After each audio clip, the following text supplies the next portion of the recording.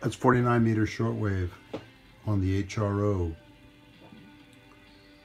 with a 6KC filter, ceramic from Australia, in the infinite impedance detector passed to me by um, VK3HN, Paul.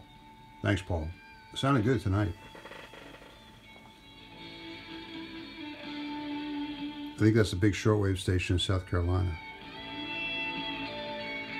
They were running kind of a mailbag before, kind of cool.